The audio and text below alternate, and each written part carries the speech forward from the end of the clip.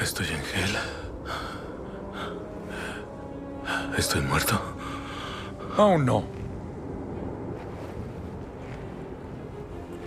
Pero lo estarás si no vienes con nosotros. Ah.